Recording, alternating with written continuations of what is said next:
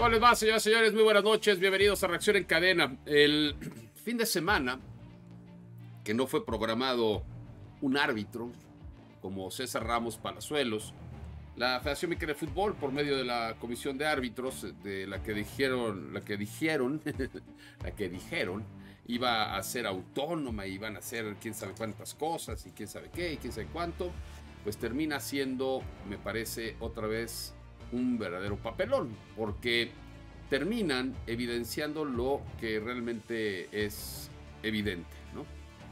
No hay una comunicación real, tratan de comunicar algo que realmente no comunica nada.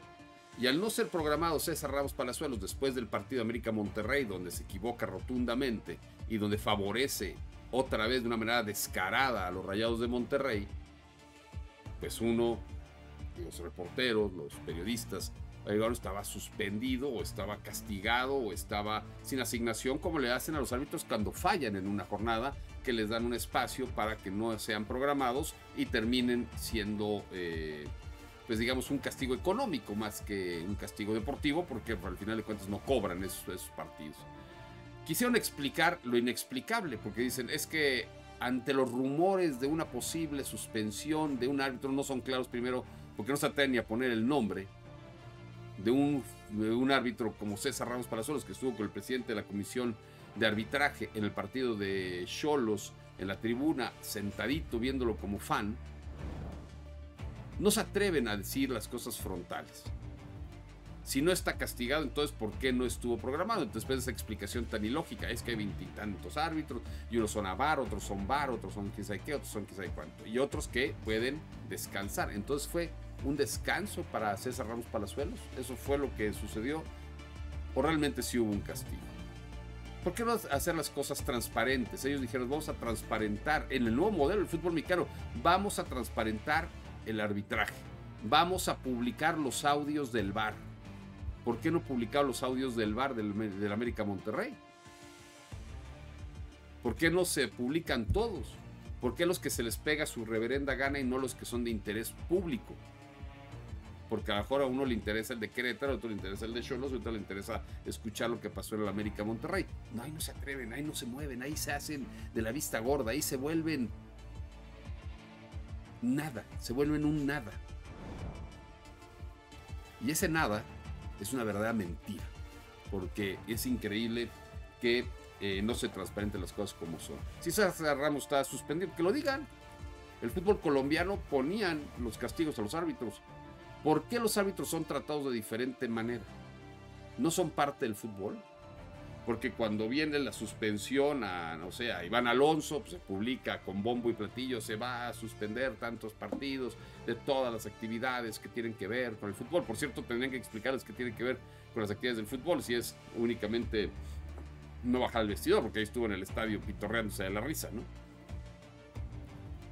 ¿Qué es una suspensión? Porque a un jugador cuando le amonestan lo expulsan, lo ponen en una lista, una lista que llega a todos los medios y, o en toda es pública en la, Liga MX, ahí en la, página.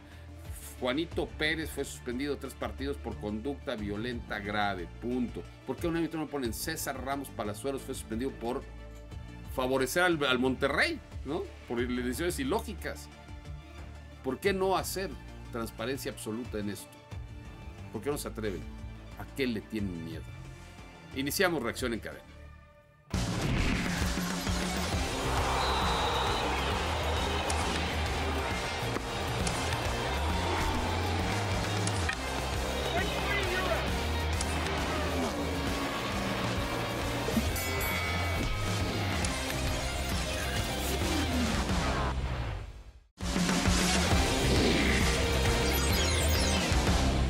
¿Cómo les va? Muy buenas noches, bienvenidos a Reacción en Cadena. Las imágenes del fin de semana, la primera de ellas, Qatar con técnico catalán. Qatar con técnico catalán. Derrota a Jordania, que yo pensé que Jordania nada más hacían pasajes bíblicos, no jugaban al fútbol, pero bueno. Te invitaban a ir a Petra, ¿no? Exacto. pero juegan al fútbol y le ganó Qatar en una muy buena final en el estadio de Lusail, que regresó otra vez a tener un lleno lleno este estadio después de la final de la Copa del Mundo. No había ido ni Dios Padre, bueno, ni Dios no creo que aplique ahí. No, No, pero bueno. No, no. ni Alá, ni Alá, ni Alá. Bueno, pues Qatar es campeón de la Copa de Asia y también es campeón de la Copa de África, Côte d'Ivoire. Côte d'Ivoire. Côte d'Ivoire. Côte d'Ivoire. Oye, con- como siempre, aderezando las historias, este futbolista que tras superar el cáncer, Sebastián Haller, se convierte en campeón, ¿no? Justo Sí, el- hace dos años, ¿no? Cáncer bueno. testicular. Sí, como varios ¿eh? han tenido, de hecho, Sí. y que antes salió adelante. La lesión del Toro Fernández y de Andrés Guardado. El Toro Fernández parecía toda la temporada fuera. Guardado no, ¿verdad? Guardado sí. No, todos es de ruptura de, de ligamentos de la rodilla. Mínimo seis meses. Ya no está fuera del torneo y guardado es muscular, ¿no? Pero sí, o sea, llam- llamó la atención lo de guardado por cómo se queda derribado sobre, el- sobre el set. De, de hecho, hubo muchos memes, ¿no? A raíz de su lesión, intentando alcanzar a Brian y pusieron ahí. La verdad le faltaron el respeto al principito. Bueno, pues ahí está el Super Bowl número 58 en Las Vegas, que eh, fue una verdadera locura. Gran show de medio tiempo. ¿Sí te Y hubo quejas del medio tiempo, ¿no? No, sí, yo me, acuerdo, yo me acordé cuando escuché la última canción de, de Usher, eh, de la película. Yo cuando escuché que dije, Usher, dije, ¿a poco las pastillas van a patrocinar este? Yo, yo Pagaron, pensé van a patrocinar pagaron. el medio tiempo, lo que le salió, ¿no? Yo me Pero acordé no. de la película de Hitch de Will Smith, ¿no? Con, con una canción ahí. Fue lo Yo me salí del estadio para no verlo, porque a mí me caga eso. Ah, ya me- Presumes, presumes tu, tu hoodie, ¿no? Del Super Bowl. Oye, yo no típico, a típico. O sea, típico, en verdad, terrible. Para que vean que estuve ahí, No, no, no, bueno, yo fui fan, ¿no? claro. Tengo que ir a trabajar, como que después los que van a trabajar no trabajan, entonces. No está Enrique, por cierto, hablando de los que no trabajan. No sé dónde está. ¿Tú lo viste ya? No, que va a andar viendo. Se las pasan fanfarroneando nada más. ¿Cómo va todo bien? Muy bien. Qué gusto que me da. Pues sí, fue una locura la- el fin de semana en Las Vegas, eh, la verdad, con una. Pues yo nunca había ¿Con una visto qué? una, una ciudad ni una final de Copa del Mundo que todos trajeran una camiseta de un equipo. Ah, sí. Sí, no sé Todo. qué- todo, o sea, yo no sé qué hacían.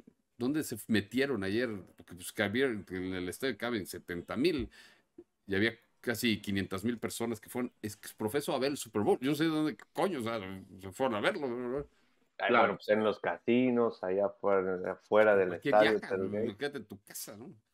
Bueno, pero es que a diferencia quizá de otras sedes de Super Bowl, ahora Las Vegas te ofrecía eso, ¿no? De Todo. estar en los ca- pues, sí, de por sí siempre está la gente chupando en la calle, ¿no? Y haciendo cosas por todos lados y de todas cosas, pues imagínate con el... Ahora, ustedes Bowl. saben, digo, ya están dadas las de con la anticipación.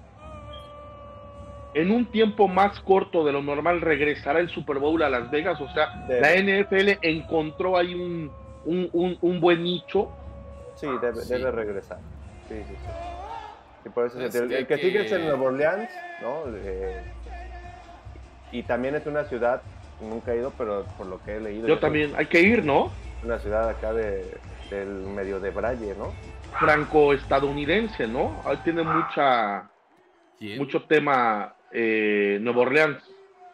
Ah, sí, bueno, pues ahí ya después de lo que viene de... de- a ver, ¿qué, qué pasa con Las Vegas? Se está convirtiendo en, una, en la ciudad del deporte, eso es la realidad. Exactamente. Sí. Vamos a tener el... Va a haber lo del March, del March Madness, seguramente ahora vendrá muchas, eh, vendrá una parte del torneo. El Final Four se va a jugar en la Universidad de, en el estadio de la Universidad de Phoenix, es decir, allá en Scottsdale, pero lo quería Las Vegas, ¿no? Pronto se lo van a dar. ¿Cuándo llega el béisbol del MLB?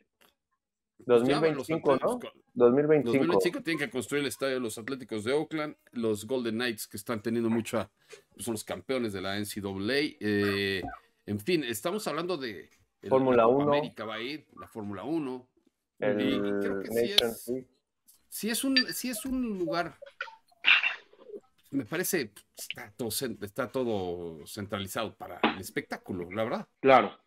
Entonces, si No, va- sí, de acuerdo. Entonces no está mal, no está mal. A mí no me parece mal.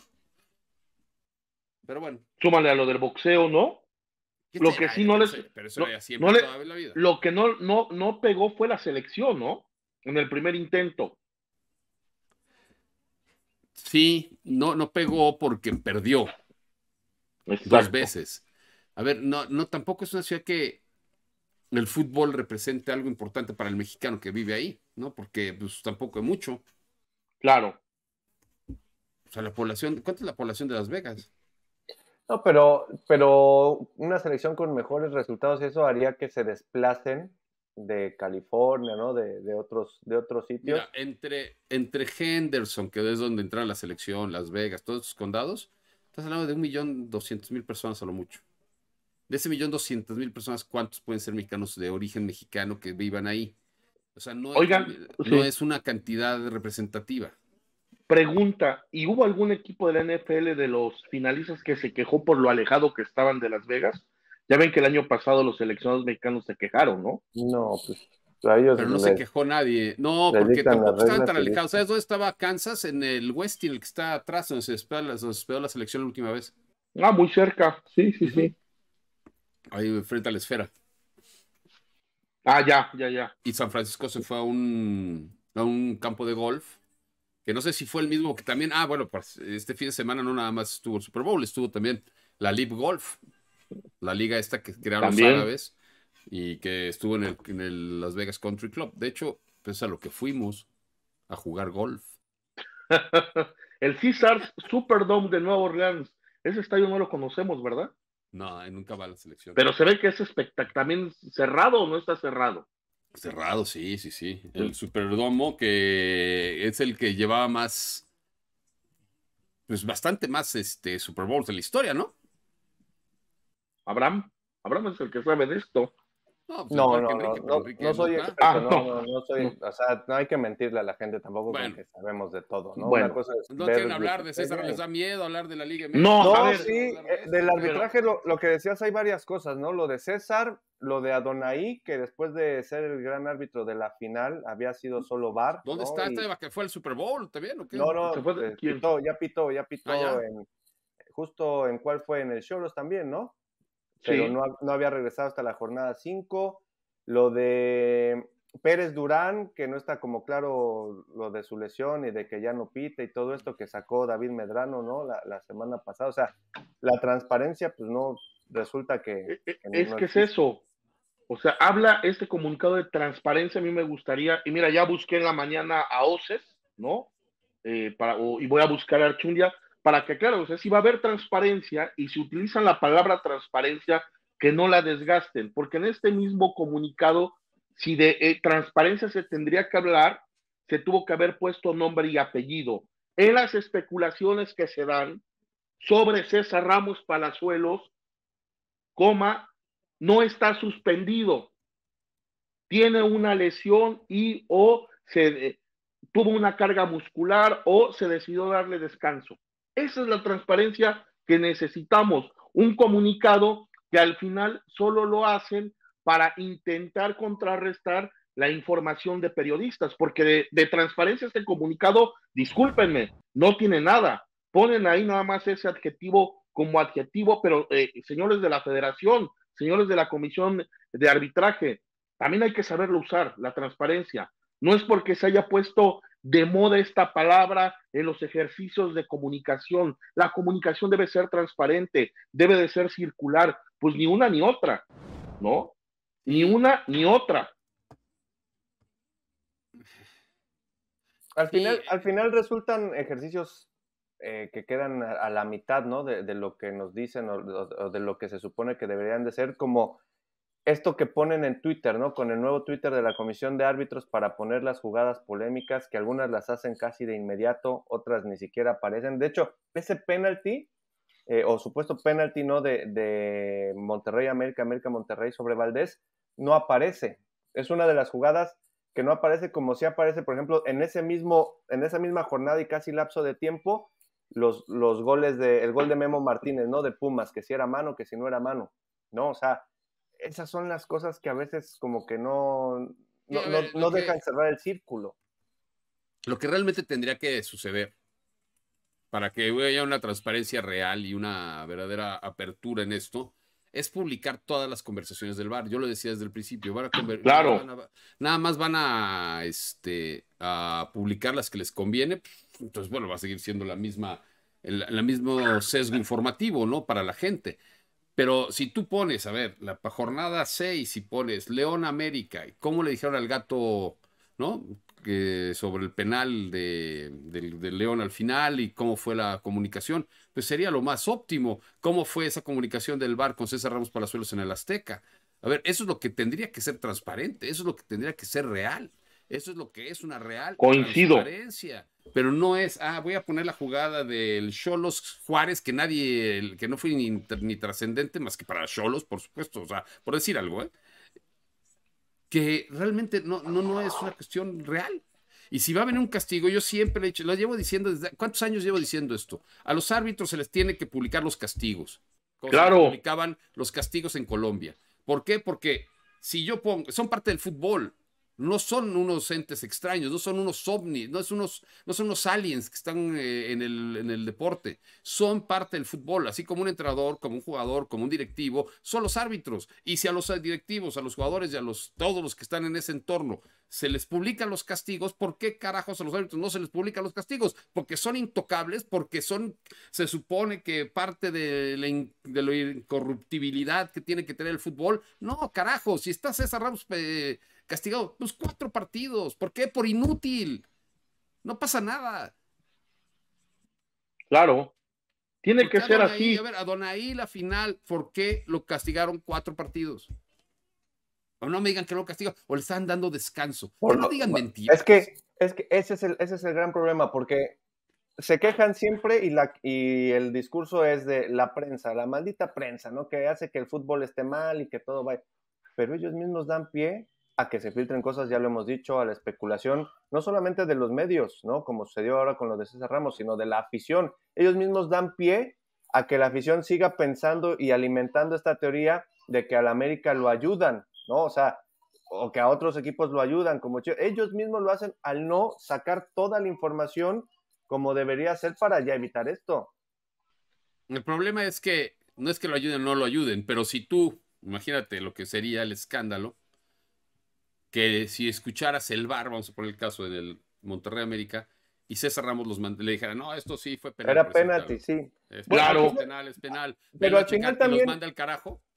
Por eso, pero al final también, pero al final también eso, si lo hiciera César de no la va a checar, digo, evidentemente se pensaría también mal otra vez. Pero es lo que quieren evitar. Pero no, pero no les está saliendo, Gerardo, les está es lo mismo porque dicen, ¿por qué no la ponen? ah, pues porque como le ayudaron, le ayudaron a Monterrey. Y todo está enfocado al América, esa es la realidad. El América una semana fue afectado y la siguiente semana es beneficiado según la opinión popular. Según la opinión popular es eso. Yo puedo pensar totalmente diferente. A mí me parece que sí es mano la de León. Sí. A mí sí A mí también. Eso ya, es y esa sí, la, esa sí la sacan los, sacan los estúpidos, ¿no? De, es que no hay una toma contundente. Claro que hay una toma contundente y es mano. Fíjate, otro. esos son de otro tipos traumados que quieren armar eh, showcitos baratos. De transparencia que habla, y aquí lo hemos dicho, no este, en este mismo espacio, así como en TBC hace años se dijo lo de los árbitros colombianos, desde allá venimos mencionando la transparencia, que abran las cédulas. Aquí no se abren las cédulas, ¿eh? es un mito. En España, sí, mira, estoy revisando la cédula del Sevilla Atlético de Madrid, ¿no? Viene todo, aquí esconden todo y aquí, por ejemplo, en expulsiones, te, ponen expulsiones. En el minuto 70, ahí lo estamos viendo, al técnico García, eh, García García Jordi David fue expulsado por el siguiente motivo, por protestar de manera ostensible y gritando a viva voz una de mis decisiones, llegando a encararse con mi árbitro asistente número uno. Ponen tal y como sucedió y hay, y, hay ocasiones que si les dicen, eres un hijo de, no, lo ponen como es. Sí, claro. Y tú tienes acceso aquí, ustedes pueden entrar y lo vemos, eso está público, no es que, como decían, se acuerdan en algún momento que había tres actas, ¿no? El acta que aparece, que no dice nada, la de la, la, la de la página de la Liga MX, no dice nada, absolutamente nada, o sea, es como para llevar la estadística, el acta que manda el árbitro y luego se acuerdan que decía que hay otra acta como un filtro para que llegue a la comisión disciplinaria. Eso nos tendría que transparentar y que realmente así se publicaran las cédulas en el fútbol mexicano, con lo que pasó realmente. O no, nos hubiera gustado, no lo van a hacer. Si el árbitro en lo de Cruz Azul solos, si se llegó a asomar, pudo haber reportado eso, ¿eh? Si se hubiera llegado a asomar, no sabemos si pasó o no pasó, porque no tenemos acceso a las cédulas. Pues ahí está, para el nuevo modelo del fútbol mexicano que tanto presumen, que tanto dicen y que tanto tiempo estamos esperando a que se aplique, porque todos son promesas y promesas ya es 12 de febrero, ¿eh? 12 de febrero, y de lo que dijeron es que el siguiente torneo, es decir, el clausura 2024, se van a abrir los audios del bar, pues no han abierto nada, no han abierto nada. Y así como abren los, los audios del bar, deberían de abrir las cédulas del bar. Digo, las cédulas eh, arbitrales.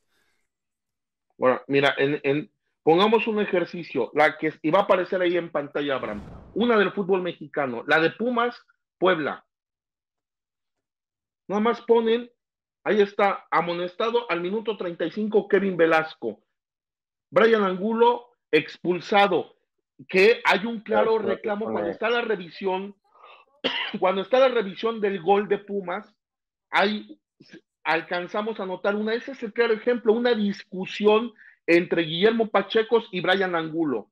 Se enoja Pacheco y pum, saca la tarjeta. ¿Qué le dijo? Eso es transparentar.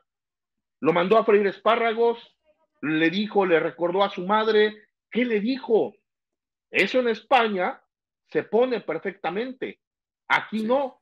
Aquí solamente ponen, ahí está, ya no ponen, ya no, ya no ponen ni lo del lenguaje, ¿no? Inapropiado. No, no, no. Antes era que poner tal cual, como lo hacen en España. Si seguimos pensando que así estamos bien, por eso no avanza el fútbol mexicano. Ahí está en pantalla una y otra. ¿Cómo lo reporta? ¿Cómo hay una acta abierta al público de la Real Federación Española de Fútbol? Y cómo hay una cédula en México que por más que le pongas el videíto, no te dice nada. ¿Por qué lo expulsaron? ¿No? ¿Por qué lo expulsaron? ¿No? Y tú luego abres la versión PDF y luego hay veces que ni siquiera en la versión PDF aparece el motivo. ¿no? Está muy mal. O sea, no, eso no es transparente. Eso es sesgar a tus intereses la información como te conviene, ¿no? Exactamente. Mira, yo, yo sigo abriendo, intento abrir la cédula, no sé si ustedes la pueden abrir, la de Pumas, que como ejemplo, no me abre el archivo PDF. No, sí, sí, a mí se me abrió hace rato. ¿Sí? ¿Qué dice al, final? ¿No? A mí no me abre. Ah, es que de ahí sacas las, este... Sí, están otras de sus mentiras, ¿no? Ah. No, ¿qué, ¿qué, dice Abraham? ¿Puedes, en la, ya para cerrar este tema, en el PDF la expulsión de Brian Angulo? No, no me deja abrir, lo siento. ¿Y por qué no te deja abrir? Pues que también, ¿qué computadora? No sé, no, no, no, no sé si no he pagado el, el, este, el paquete, ¿cómo se llama este? No sé Para abrir Word, Excel. No, no, no me deja abrirlo. Velasco? Ajá, en el PDF, ¿qué dice? Conducta antideportiva nada más. Causal 6. Después la de Brian no. dice emplear lenguaje y gestos ofensivos, insultante o humillante. ¿Y qué le dijo? Exacto. Sí, siempre ponen como el, genérico, ah, ¿no? De, el genérico. De lo que es. Exactamente. ¿Qué pasa en la Real Federación? Te ponen, me dijo hijo de tal par cual, ¿no? Vete a tomar por él, o como dicen tus paisanos, y le pone el árbitro, ¿eh? A tomar por, cool, así. Y, y lo pone, ¿eh? Entonces, eso es transparencia. Pero en fin. Bueno, vamos a una pausa, regresamos. Y para mí jugamos un partido correcto, peleando, compitiendo mucho, imponiéndose en la mayor parte del tiempo y en algunos momentos sabiendo, sabiendo defenderse, cerrarse ante un rival que tiene muy buenos argumentos ofensivos también, delanteros importantes. Y bien, pero para mí la victoria, independiente de, de cómo termina con, con el gol, eh, fue de la, de, del equipo que insistió más, que produjo más, que generó más, perdemos goles importantes nuevamente, la, por veces la fase es así, la pelota se tarda en entrar, los jugadores delanteros pierden un poco la confianza y es cuando, cuando, cuando la fase es así, es muy importante triunfar, no importa mucho cómo, recuperar confianza, recuperar en nuestra mejor versión y viene ahí ya pensar en, en la decisión de, de, que viene en miércoles.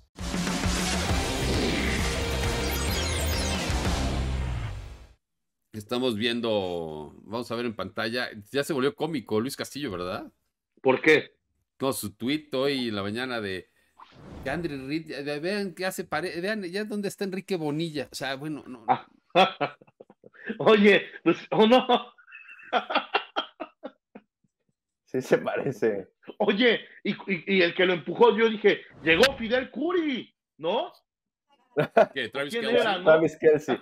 No pasa ¿No, nada. ¿No era Curi empujándolo? No. ¿Por qué me quitaste mi equipo, no? Pero sí termina siendo un. Siguen, ¿no?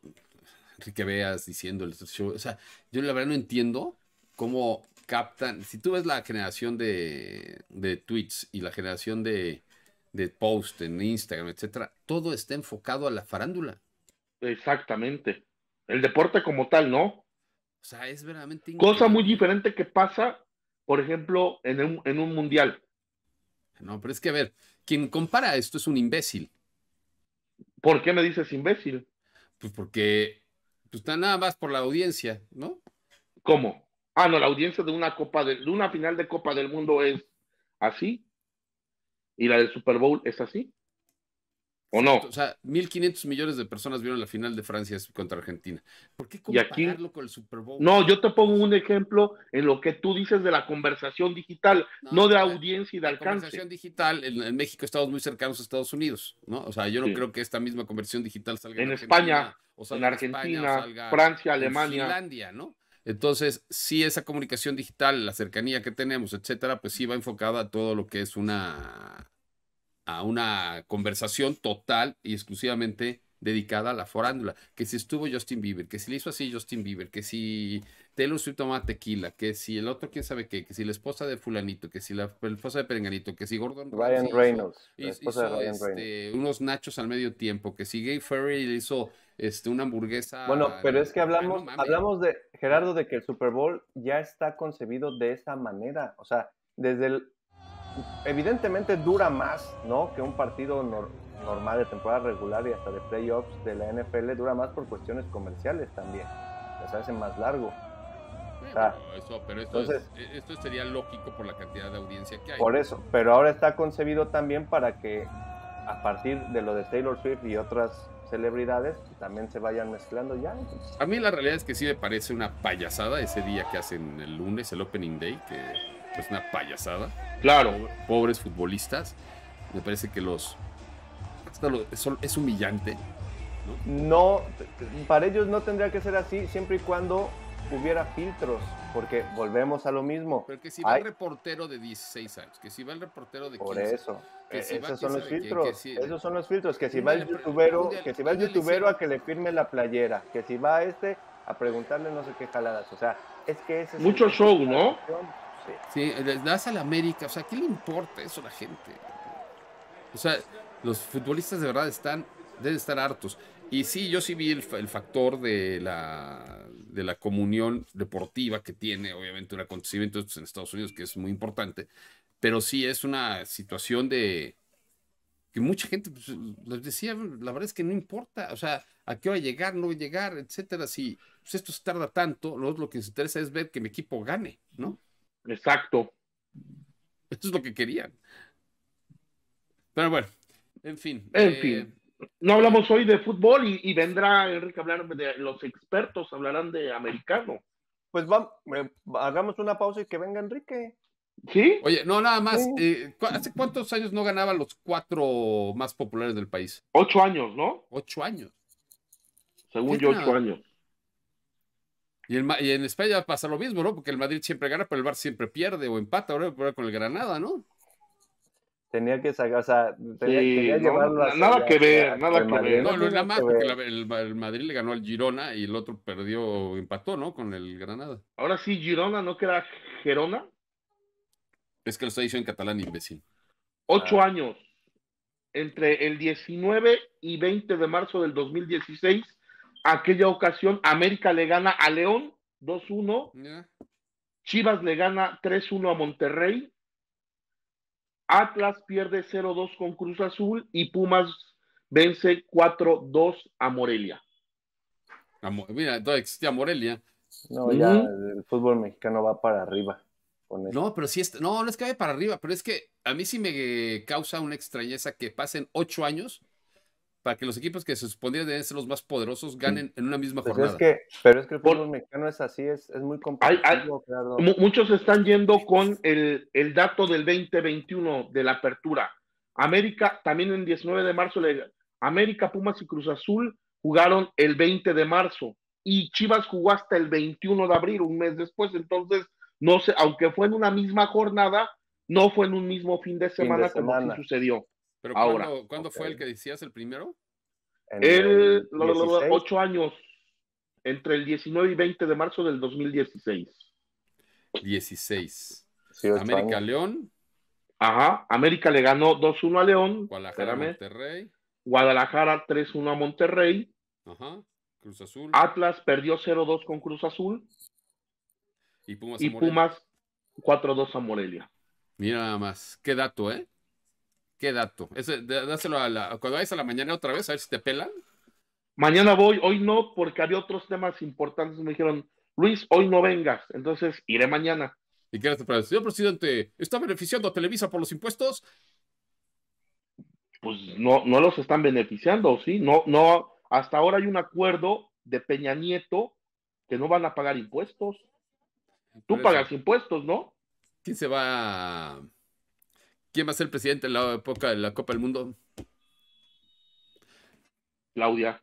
Se a preguntar a Claudia No, pero Claudia no puede hablar de eso. Pero es que el presidente ahorita puede dejar, aún puede cambiar ese acuerdo de Peña. ¿Por qué? Pero ya, se, ya, se, ha manifestado, a ver Luis, según yo, ya se había manifestado en algún momento en que no estaba de acuerdo, ¿no? En que no estaba de acuerdo. No, no, sí lo tiene, desde hace muchos años. Sí. No, bueno. Entonces, en fin. ¿Me invitas a la mañana? Vamos, pero hay que llegar, no, en serio, vamos, hay que, yo vivo muy cerca de Palacio Nacional, entonces no tengo problema, pero hay colegas que salen de su casa a las 4 de la mañana. Hay que estar ahí a, las 6. Nunca, no le he preguntado. Le voy a preguntar mañana. ¿Dan de desayunar? ¿Dan de desayunar, Luis? Nada. O sea, tú llevas tu café. Nada, no, te dan nada. bueno, el día de, del, de la Candelaria hubo colegas que vienen de San Luis, o sea, si es, por ejemplo, los eh, el, viernes, popular, el, viernes, eh, el, chavo este, un periodista que le pregunta y que sale lo de cabeza de vaca y que fue tendencia, nos sigue mucho a reacción en cadena, que es de Elefante Blanco. De hecho, gran parte del reportaje que saca Elefante Blanco de cabeza de vaca, Correcaminos, Orlegui en Tampico, Muchos de los datos los saca de acá, me decía, de reacción en cadena, de toda la información que presentamos en su momento. ¿Te acuerdas cuando presentamos documentos de, correcaminos y me decía, oye, es que de reacción sacamos ahí, fue la base para iniciar la investigación de, Elefante Blanco. ¿Te acuerdas de, ¿te acuerdas de nuestro colega, eh, el compayito? Sí. Que estaba en Núcleo Radio Mil. ¿Te acuerdas, Abraham? Sí. Hoy ya cubre, pero él ya trabaja en las mañaneras. pero desde hace no, ya. Desde la, Yo me acuerdo de él en la pandemia, o sea, ya estaba ahí en. ¿Y quiénes son los que cuando empezó el sexenio vivían en Coajimalpa y ahorita ya viven en las lomas? ¿Ya los detectaste? no, ¿como quién? Luis. Ah, ah no. Tú. No, yo no. Pero en Coajimalpa, ¿en qué parte? Regresamos.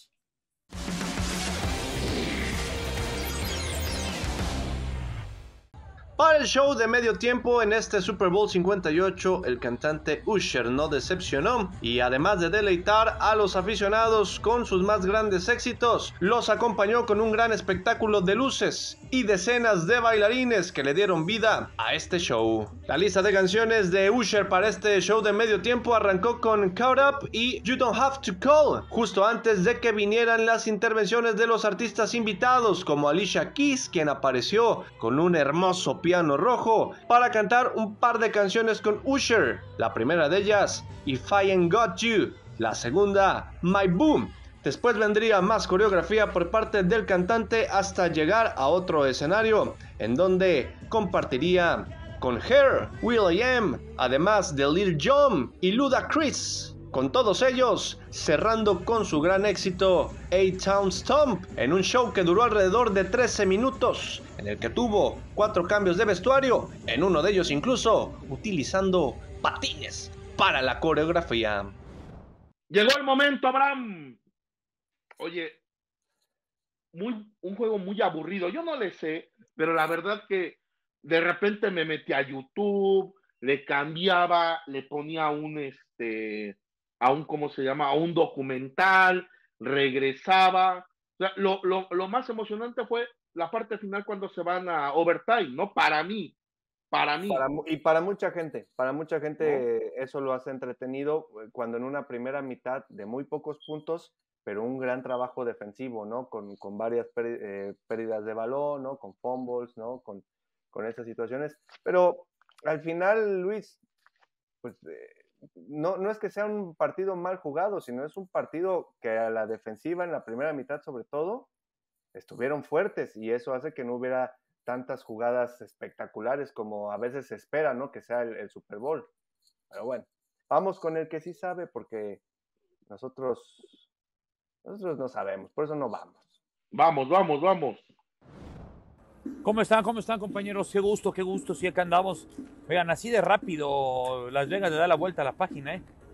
Ya en el strip, a quitar toda lo que es la imagen estática del Super Bowl ahí, aquí justamente entre el puente del New York, New York y el MGM, ya están trabajando, pero no solamente aquí, sino ya también en todos los puentes, eh, justamente el de el Excalibur con el Tropicana también ya lo están levantando, del otro lado también eh, empiezan ya a, levantarlo el del Parque MGM, así de rápido se va a ir el Super Bowl de esta ciudad que fue una semana de locura, sin duda alguna una semana que terminó generando eh, uno de los Super Bowls más emocionantes de mayor alarido, que yo entiendo que Luis Castillo ayer, ¿no? Con el señor Arispe, ahí empezaban a llorar, que qué aburrición. Yo creo que a lo mejor se referían de Osher, que al final de, al final de cuentas siempre supimos que, que al tener a Osher de invitado, después de 30 años de carrera, pues no era lo representativo de un Super Bowl a la altura de las dos grandes franquicias de los últimos cinco años de la NFL,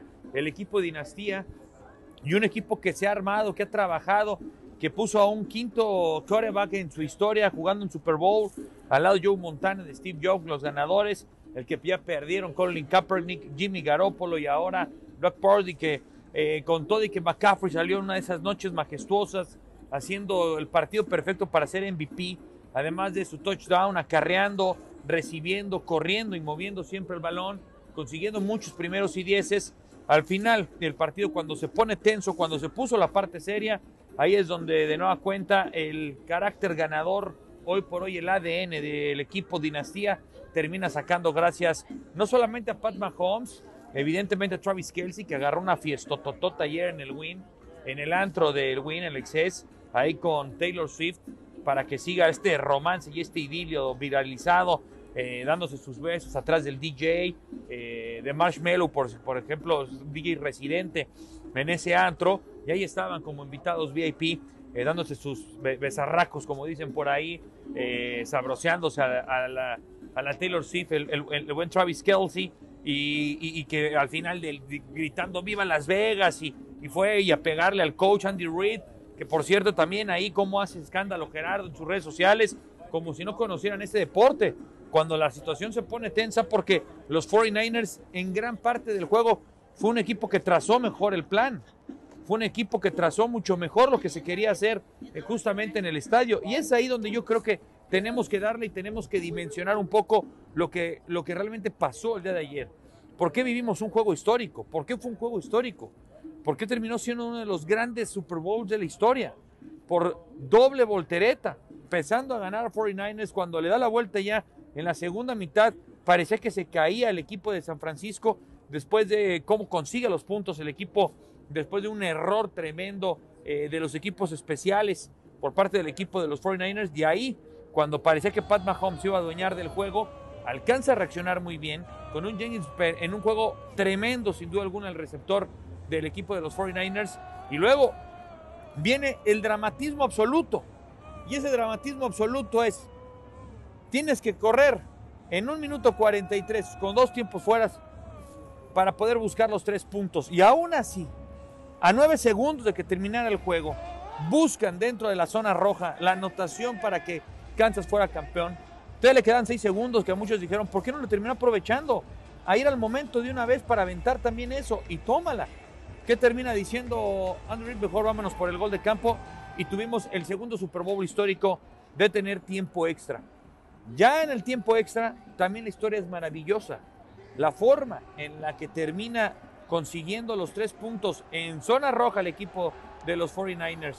En una tercera importantísima para haber conseguido el primer gol que iba a darle a lo mejor los siete puntos al equipo de San Francisco.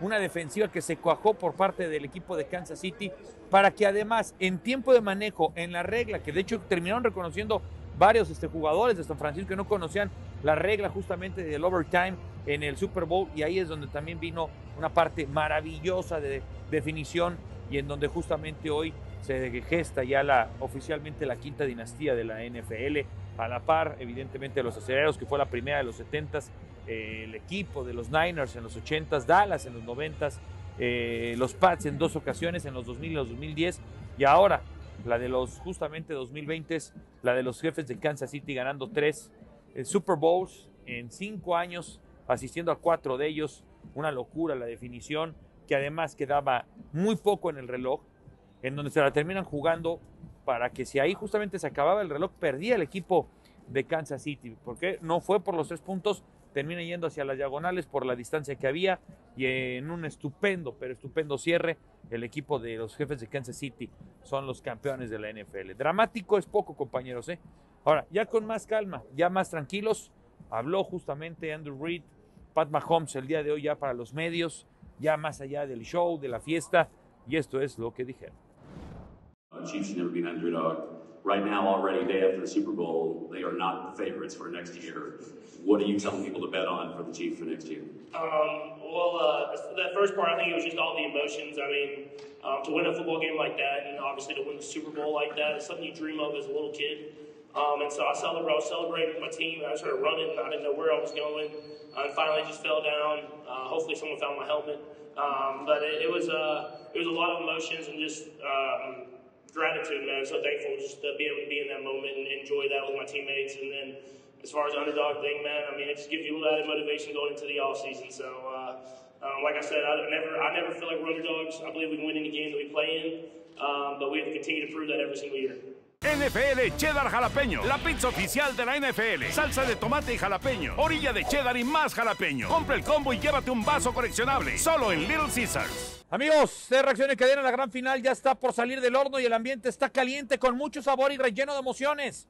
Así igualito que el nuevo combo NFL Cheddar Jalapeño de Little Caesars, la pizza oficial de la NFL.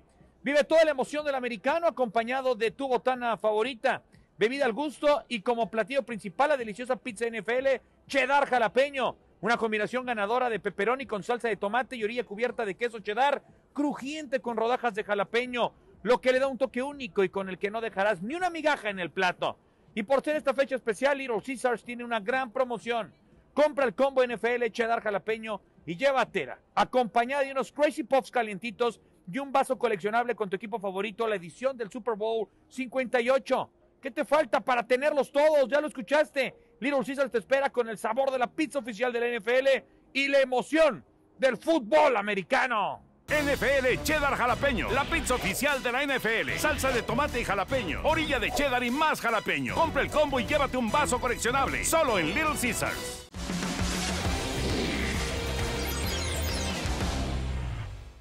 y cómo, cómo asimilaron la idea a la hora de tener la pelota creo que es complejo y la verdad que no lo esperaba, que no en, en esta cantidad de jornadas, sino en el tiempo en que llevamos, llevamos trabajando, eh, tengan la interpretación que tienen los jugadores, aún así faltándonos mucho por mejorar en esa, en esa faceta, pero creo que, que tienen la confianza, que lo hacen eh, naturalmente y que, lo, y que lo abrazaron. y eso la verdad que para nosotros es muy importante. Con relación a, lo del toro, bueno, habrá que esperar, eh, eh, pero bueno, a primer, eh, en las primeras imágenes no, no son buenas noticias, entonces habrá que esperar, para, quiero ser cauteloso y que el club y que los que se encargan de, del área médica den un, informe correcto sí, pero, pero las primeras noticias no son, no son las mejores, así que eh, nada, este triunfo va para él también. Bueno, eh, muchas lesiones ha habido en el torneo y esta del Toro Fernández pues es una que termina pues poniendo en duda si es que Cruzul va a gastar más dinero después de todo lo que gastó, porque todavía podría contratar jugadores, ¿eh? Que además el toro, el toro, fue su refuerzo, que, el que más le costó, ¿no? En, en, en, este receso, ¿no? En esta manera de reforzarse de, de Cruzul y ya pues ahí más o menos iba. Ya y dicho sea de paso, sí estaba siendo referente de Cruz Azul sí, en el campo, ¿no? Sí, dos, goles, sí, dos, goles, goles, pero ya combinándose con, con Sepúlveda, ¿no? Exactamente. Para eso lo, lo, habían traído y bueno. Ahora la, la duda es si puede o no puede Cruz Azul traer a otro jugador. Sí puede, pero no por sí esto. Sí, sí se puede. No, pero no por la cuestión de, de que sustitución por lesión ya no. No, no, no es esa. No ya es no. Eso. Si no es por lo que permite el reglamento, ¿no? Que, que aparte ahí estamos. Ahí aparece. Que dice, puede venir dos jugadores o los clubes pueden registrar a dos jugadores hasta el 8 de marzo, pero siempre y cuando sean agentes libres y su último contrato haya terminado hasta el, el 1 de antes febrero. del primero de febrero pasado, ¿no? O sea, por eso sí puede traer Cruz Azul, aunque no como si fuera un sustituto por lesión, ¿no? O sea, son dos conceptos diferentes. Entonces, digo, la cuestión es lo que dice Luis, si Cruz Azul va a buscar o va a gastar en, en algún otro elemento, y qué jugador podría ser, porque ya, o sea, ya prácticamente quienes son agentes libres, salvo Carlos Vela, ¿no? Que es un caso excepcional, pero quienes son agentes libres en estos momentos, pues es porque pues no, no valen la pena, ¿no? Deberían tener equipo.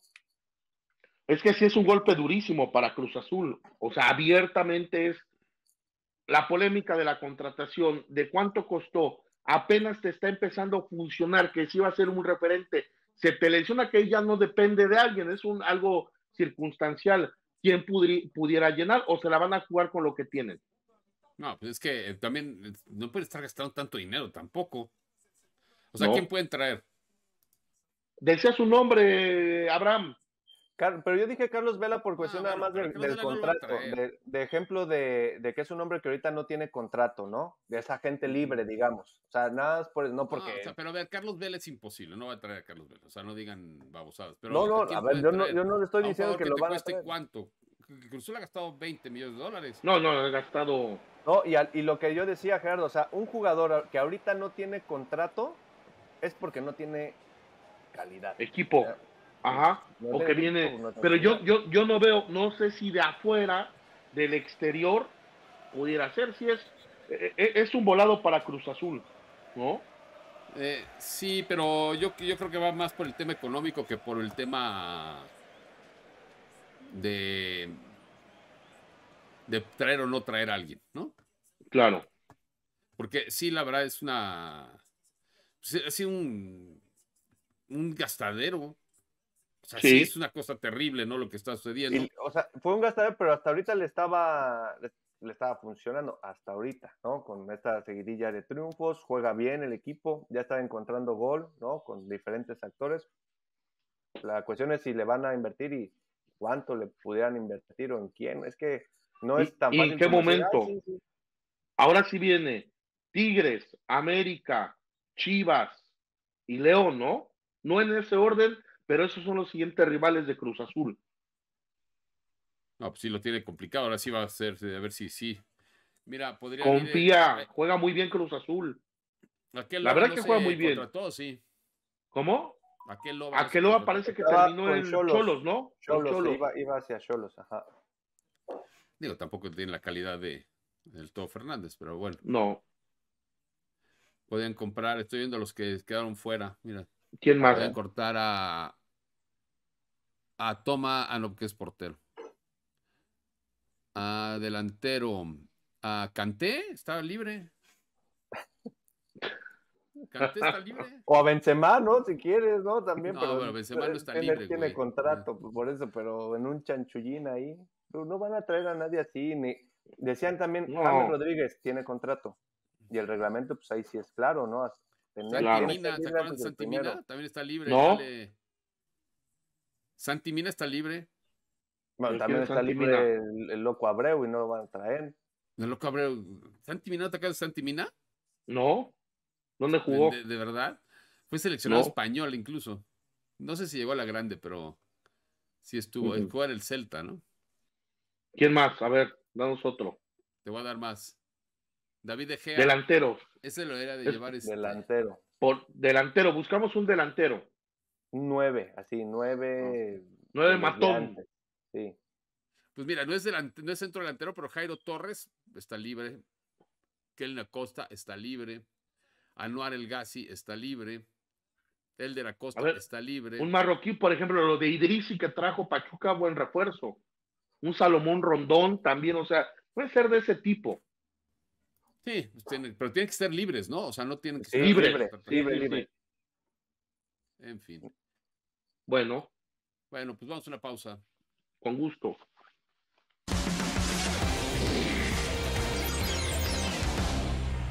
Bueno, ladies and gentlemen, let's go. Vámonos. Nacho Ambriz, ¿no? Llega a Santos. Otro mexicano, o sea, ya hay otra vez cuatro, ¿no? Sí, Otra vez hay cuatro. sí, por- porque Juárez trajo un. Y nadie dice. Fentanes, ¿eh? Nadie, nadie se No, atreve. Fíjate que ma- mañana vamos a tener, fíjate, ¿eh? aquí y mañana lo platicaremos. eh, mañana presentamos entrevista con Gustavo Leal, entrenador de Atlético de San Luis, que el mismo fenómeno que hay hoy en México de pocos eh, entrenadores nacionales pasa en el Brasileirao, ¿no? Y dice que, hemos optado muchos técnicos brasileños por salir, ¿no? Por salir, por prepararnos y salir. Pero bueno, eso ya mañana lo presentamos, la entrevista con Gustavo Leal. Sale. Pues bueno. Vámonos. Vámonos. Yo- Vámonos.